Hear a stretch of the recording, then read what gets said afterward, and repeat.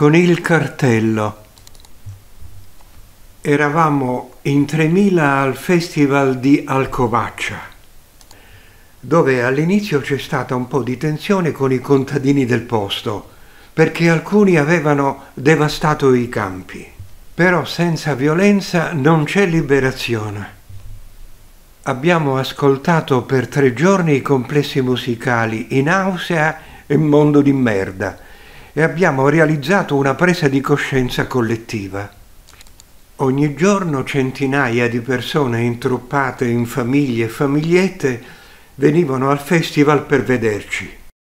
Ad un segnale facevamo scattare l'operazione Ludibrio.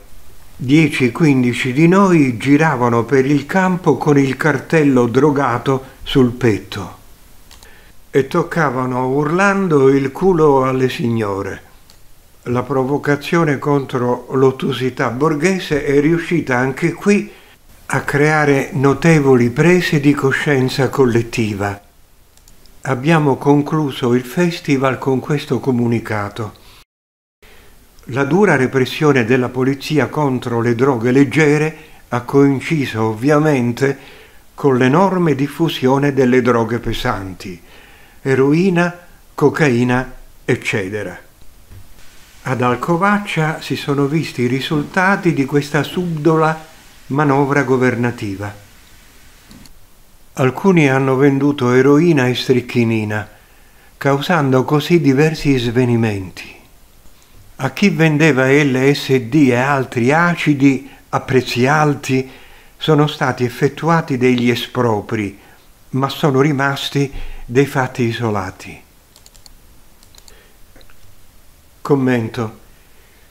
Alcune aggregazioni sociali sono un concentrato d'inevoluzione.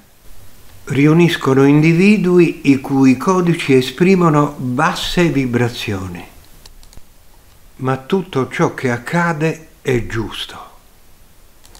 Ciò non toglie però che nel proprio intimo ognuno non debba protestare contro questa inevoluzione, contribuendo così alla sua consumazione.